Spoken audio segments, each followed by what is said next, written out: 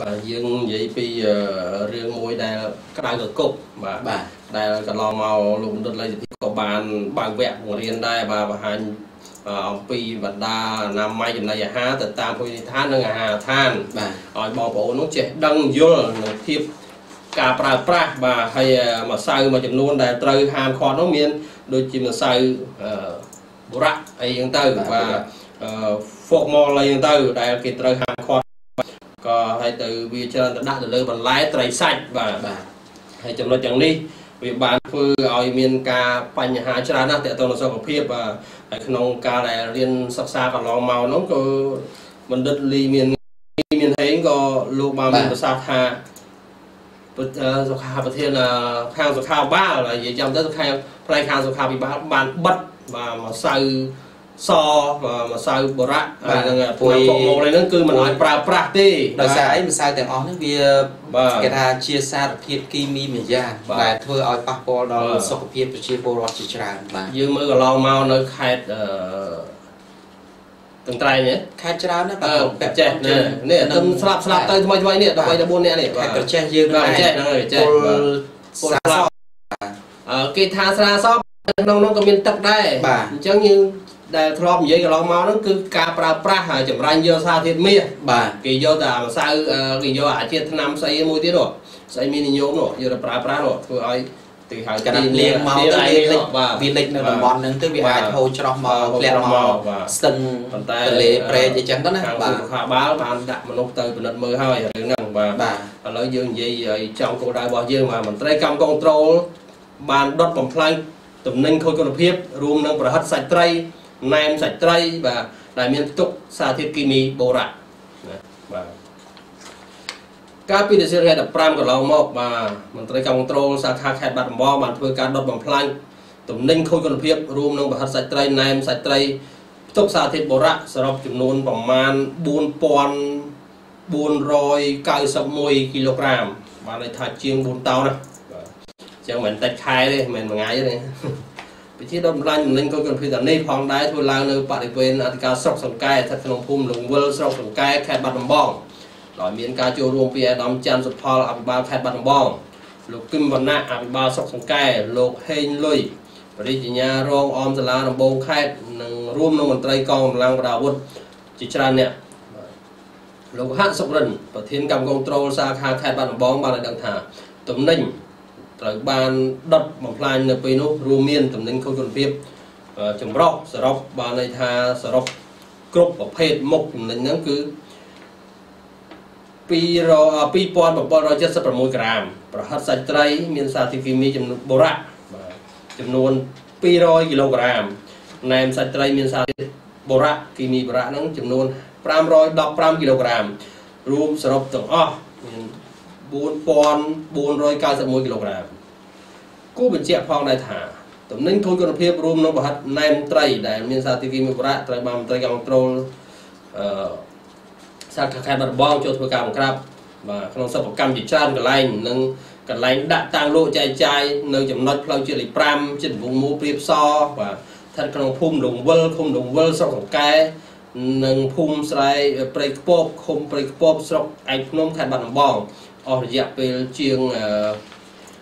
បើថាចំណាយ2ថ្ងៃបាទដើរពិនិត្យហើយនឹងដកហូតយកចេញមកនឹងកន្លងទៅថ្មីថ្មីបន្ទាប់ពីសារព័ត៌មានក្នុងស្រុកជាច្រើនបានចាក់ផ្សាយពីការនាំចូលត្រីក្លាសេអន់គុណភាពបាទដែលពួកឈ្មួញនាំចូលពីប្រទេសជិតខាងបាទនាំពីថៃមកហ្នឹងមកលក់ចែកចាយហើយត្រីអន់គុណភាពទាំងនោះត្រូវបានគេយកមកឆ្នៃធ្វើជាប្រហិតត្រីណែមត្រីនិងសង្វាក់ត្រីដែលជាដើមដែល បង្កឲ្យមានផលប៉ះពាល់យ៉ាងធ្ងន់ធ្ងរដល់សុខភាពរបស់ជាពលរដ្ឋផងនោះបាទហើយកន្លងមកហ្នឹងក៏ល្បីថាអីក្រុមហ៊ុនក្រុមហ៊ុនអីទៅដោះគោ AD បាទ AD បាទអឺបានពុលដល់ប្រសង8 9អង្គបាទប៉ុន្តែខាងក្រុមហ៊ុន AD ហ្នឹងបានបដិសេធថាមិនមានទេបាទ ដែលព័ត៌មានល្បីថាប្រសង9អង្គពលអាដេនោះរហូតដល់ថ្នាក់មានការបង្ហោះចុះផ្សាយប្រងព្រាតធ្វើឲ្យព័ត៌មានមួយនេះមានការចាប់អារម្មណ៍យ៉ាងខ្លាំងផងដែរបាទពីកន្លងមកបាទជាពិសេសក្នុងពេលដែលផលិតផល AD ហ្នឹងកំពុងតែចរាចរទៅលើទីផ្សារប្រទេសកម្ពុជាហ្នឹងកាន់តែខ្លាំងបាទច្រើនមែនទែនបាទបានគេដឹងថាមានការចរាចរនៅកម្ពុជាហ្នឹងស្រាប់តែមានដំណឹងបែបនេះហើយក៏ធ្លាប់មានធ្វើការភ្ញាក់ផ្អើលហើយក៏ បន្ទាប់ពីចៅប្រជាអធិការវត្តបាទព្រះនិកទីកន្លែងដែលផ្ទុះបញ្ហាថាពលណាដែលបានអះអាងទៅថ្ងៃ11សភាកន្លងទៅនោះបាទថាកូននេនក្មេងៗពីរនាក់ដែលពលគោចង្អោនោះត្រូវបានបញ្ជូនទៅគ្រោះមន្ទីរពេទ្យមកប្រាវដែរបាទតាការពលចំណីអាហារទេបាទអញ្ចឹងបើប្រសងដែលកាន់នៅវត្តហ្នឹងក៏ថាកូននេនហ្នឹងពលអាហារទេបាទអញ្ចឹងមិនមែនជាពលអាដីទេប៉ុន្តែយ៉ាងណានោះយើងមិនទាន់បានការសម្រេចដល់ពិនិត្យយ៉ាងណាចំពោះផ្នែកខាងមន្ទីរសុខាភិបាលខេត្តបញ្ជាក់ថាយ៉ាងណាទេព្រោះអីនេះគ្រាន់តែតលហិករបស់ម្ចាស់ក្រុមហ៊ុននិងប្រសង់បាទចេញមកបដិសេធតែប៉ុណ្ណោះទេបាទហើយរឿងពិតយ៉ាងណានោះសំខាន់ពលមែនឬមិនមែនពលអ្វីនោះ អត់បានបញ្ជាក់ថាឲ្យពិតប្រកបបាទនៅតែជាចម្ងល់នៅក្នុងចិត្តរបស់ប្រជាពលរដ្ឋនៅឡើយទេបាទអញ្ចឹងចំណុចយ៉ាងនេះវាសំខាន់ណាស់បាទដោយសម្ដេចលោកមានប្រសាសន៍បាទកន្លងមកហើយថាប្រជាពលរដ្ឋចេះមើលខ្លួនឯងបាទអាហារណាបាទអាហារណា ដែលត្រូវហូបអាហារណាមិនគួរហូបចំណីអាហារណាដែលមិនមិនត្រូវហូបអញ្ចឹងយើងមានវិធីសាស្ត្រប្រើប្រាស់ច្រើនណាស់បាទមានលាងអាហារតាមបែបផ្សេងផ្សេងដូចជាគេមាន ទឹកសម្រាប់លាងមករៀងលាងបន្លែផ្លែឈើផ្សេងផ្សេងបាទតែក៏យើងដឹងដែរទេយើងសពថ្ងៃនេះបាទចូលមុខមែនតើពាក់ព័ន្ធនឹងសារទៀតគេថាសារធាតុគីមីជាច្រើនដែលដាក់លើបន្លែត្រីសាច់មិនជាផ្លែឈើបាទទៅលើមុខទំនិញអញ្ចឹងប្រជាពលរដ្ឋត្រូវដាក់បាទភាគច្រើននិយាយចំមួយចំនួនធំនោះគឺមិនបានយល់អំពីសារធាតុគីមីនោះថាយ៉ាងម៉េចទេបាទគឺសំខាន់ដល់តែឃើញចង់ញ៉ាំ ញ៉ាំហើយឆ្ងាញ់បាទហើយមើលទៅរៀងល្អអាហ្នឹងអូសុខភាពល្អល្អសុខភាពល្អប៉ុន្តែអត់បានដឹងថាគេដាក់ជាតិបុរៈដើម្បីឲ្យវានៅពណ៌សម្បុរល្អនោះទេបាទអញ្ចឹងអញ្ចឹងយ៉ាងនោះហើយបានជាលោកមណ្ឌលលេខភាពបាទបង្កើតកម្មវិធីបង្រៀនបាទបើវគ្គតើអំពីអនាម័យចំណីអាហារនៅតាមភោជនីយដ្ឋាននិងអាហារដ្ឋានផ្សេងផ្សេងឲ្យយល់ហើយមួយវិញទៀតបាទធំយើងគិតថាបើសិនជា ព្រះរាជាណាចក្រកម្ពុជាយើងមានគេថាខាងផ្នែកកម្មគ្រប់គ្រងតាមតំបន់គេថាព្រំបន្ទាត់ព្រំដែនច្រកអន្តរជាតិជាដើមអញ្ចឹងណាបើសិនខាងផ្នែកកយផ្នែកអីគាត់យកចិត្តទុកដាក់ក្នុងការពង្រឹងត្រួតពិនិត្យឲ្យជាក់លាក់ច្បាស់លាស់ប្រហែលជាតំណែងហ្នឹងมันអាចហូរចូលបានបើតាមការខ្ញុំស្មានទៅអឺយើងចង់និយាយថាមិនក៏បានដែរប៉ុន្តែការទប់ស្កាត់បាទធម្មតាចោលវាមានឱកាសបាទវាមានឱកាសសម្រាប់វាធ្វើបាទ ហើយអញ្ចឹងយើងមិនប្រកាសថាយើងអាចធ្វើបាន100%ទេចំពោះការងារនេះក៏ប៉ុន្តែយ៉ាងហោចណាស់ក៏មន្ត្រីយើងនៅខេត្តបាត់ដំបងណាបានប្រឹងប្រែងធ្វើរឿងនេះបានជោគជ័យមួយចំនួនហើយគឺក្នុងនេះគឺជាង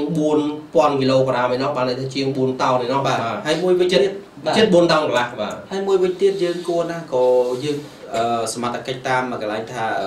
តំបន់ខេត្តនីមួយៗដែលមានច្រករបៀងគួរពង្រឹងឡើងវិញបាទរឹងបាទឬក៏បិទតែម្ដងទៅក៏វាបានដែរជៀសវាងកុំឲ្យមានបញ្ហាកើតឡើងបើចង់និយាយថាច្រករបៀងនោះគឺគ្មានមន្ត្រីកម្មគ្រប់ត្រូលទៅពិនិត្យទេព្រោះមិនមែនជាស្ថាប័នគាត់ធ្វើការបាទឲ្យយល់ជាវរៈការពីព្រំដែនចំណុចហ្នឹងហើយបានសម្ដេចកលាហោមសខេងចេញបទបញ្ជាបាទចេញចេញបទបញ្ជាដាច់ខាតគឺមិនឲ្យបើកហ្នឹងមូលហេតុបាទ មានទេច្រកអន្តរជាតិក៏តាមនេះទៅសូម្បីតែច្រកអន្តរជាតិបាត់តែត្រួតពិនិត្យច្បាស់លាស់ហ្នឹងនៅតែមានរថចូលបានគាត់មានសិទ្ធតែប្រហែលគីឡូតែ1គីឡូ2គីឡូចេញពីរវាងដែនដែនសមត្ថកិច្ចរបស់គាត់តែពីនឹងមកខាងការពារវរៈការពារព្រំដែនការពារព្រំដែនបានថាកងតទាំងអស់បាទអញ្ចឹងបើសិនជាកងទ័ពបើកតាមព្រំដែនច្រករបៀងផ្សេងផ្សេងហ្នឹងมันធ្វើឲ្យខូចខាតមកបាទអញ្ចឹងសូមឲ្យពួកគាត់ទាំងអស់យល់យល់ឲ្យមែនតែនសម្រាប់បងប្អូនប្រជាពលរដ្ឋមិនមែនថាអឺ ឲ្យខ្ញុំបិទបាក់មិនដាច់ឆ្នាំងបាយខ្ញុំបាទកុំមានប្រសាសន៍ចឹងអីបាទឲ្យនាំចូលផលិតផលព្រោះអីឆ្នាំងបាយអស់លោកមានប្រាក់ខែរួចហើយបាទបាទបើសិនជាអស់លោកថាប្រាក់ខែលោកចិញ្ចឹមគ្រួសារមិនរស់ទេអស់លោកឈប់ទៅហើយទៅធ្វើជាកសិករធ្វើបកការផលវិញល្អជាងបាទហើយកុំយកលេសបាទកុំយកលេសថាអញ្ចេះថាអញ្ចោះរលុយដើម្បីបាក់អត់ទេបាទកុំយកមកលុបលាងបាទបាទចំណុចទាំងនេះគឺបាក់អត់ដែលបានត្រូវការអស់លុយលុយអស់លោកទេបាទ